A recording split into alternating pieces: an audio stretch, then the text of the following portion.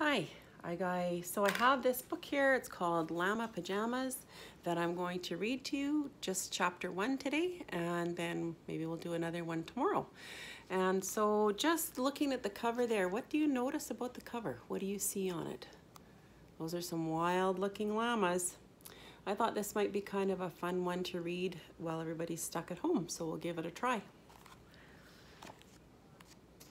And it's dedicated to all the mountains and flowers and wild animals who share this earth with us.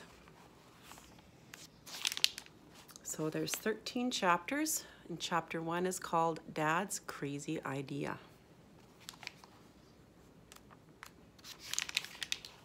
Well, there's Dad. That is an old-fashioned telephone that he is on with an antenna. My summer problems really started that morning in July when my father came inside with the travel section from the newspaper in his hands and exclaimed, This year we're going on a llama vacation. A llama vacation, I cried. You mean take a trip with those 100 pound furry creatures with big ears? Dad was already on the telephone dialing. Mr. Youngston, I hear you are the best in the llama business. My family and I would like to rent llamas for our hike in Colorado this summer. So now you need to pause, think, and retell. So what is the setting and who are the characters so far? Hike, I thought? This vacation was sounding worse and worse. You have to understand, my father used to backpack a lot, nine years ago before I was born. So how old is a child? And my mom is a pretty good day hiker on our vacations. You know, she walks two and a half miles to Grizzly Lake to look at the view with a camera and a few tasty sandwiches in her pack. When I was a little squirt, I liked hiking too. They'd bribe me with M&Ms. They'd give me one M&M for each switchback. Switchback is the word for the way a trail climbs up a steep mountain. Back and forth, like Zads stacked one on another. At every turn, I chose, I got to choose one M&M, any color. Lately, I'd settled on being with a babysitter at the nearest lodge instead. Oh, I liked seeing the wild animals, but I also enjoyed drinking hot chocolate in front of the big fireplace at the lodge. I guess I mostly like crawling into my own bed at night and reading mysteries. I loved good old Kansas with our sprinkler in the backyard on hot summer days. The great outdoors was a not for me. Dad was deep into his conversation. Llama orientation session, I heard him say, to learn how to handle the llamas? Sounds delightful. Can my eight-year-old daughter participate? That was me. I was eight years old, but I looked about six. I decided it was time to bone up on llamas, so I headed for my computer encyclopedia on CD-ROM. That is a disk. You must know what a CD is and you used to have to store information on there and you could put it in the computer and look things up on it. I inserted the disk. Next, I clicked the animal window on the monitor and then cycled through alphabetically. I wasn't certain if llama had one L or two. What I learned amazed me. A llama could carry up to 100 pounds happily.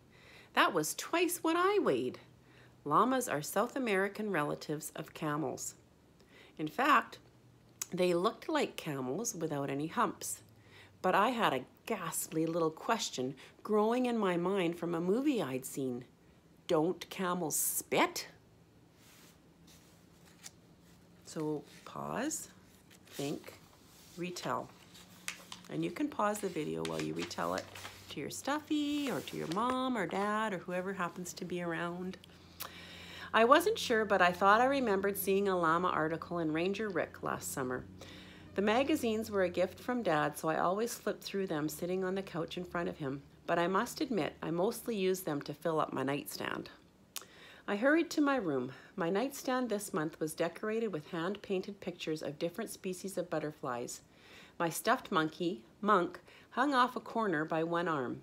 The rest of my room looked like any normal kid's room a whale mobile over my bed, an enlarged snapshot of me being hugged by the beauty, the beast from Beauty and the Beast on our vacation to Disney World two years ago, my hamster cage, tons of stuffed animals, and three bookshelves.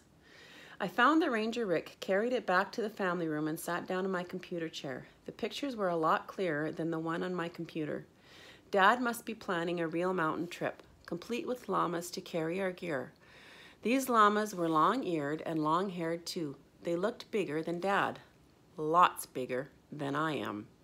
I laughed when I read that bears in the wilderness have been known to turn around and run when they see llamas because llamas look so strange. The second page mentioned that llamas don't spit green goo very often. A person didn't need to worry unless the llama raised its head and put its ears flat. Dad got off the phone. Mr. Youngston asked me why I didn't have a car big enough to carry a llama, he chuckled. Oh, and milkshake, they weigh 300 pounds, not 100. My name is Sarah, but Dad has nicknamed me Milkshake. I guess because that has always been my favorite treat, even when I was a baby. I know, I said, indicating the computer. Dad looked impressed. Raising his right eyebrow, eyebrow, he clicked on the next animal in the alphabet, langur monkey. And langur has two L's. I have no idea what that is. Dad, I asked. Hmm, he replied, glued to my computer screen. Have you asked Mum yet about these llamas? He shook his head. Don't worry. She always loves my vacation ideas. This time, I wasn't so sure. And so tomorrow is chapter two, Molly the computer. So I hope you like that. And maybe what you'd like to do is in your reading response uh, notebook is maybe you could draw me a picture of the characters and the setting of the first chapter. Okay, take care and I'll read to you tomorrow. Bye-bye. Sure miss you guys. Hi, Isabel. How you doing?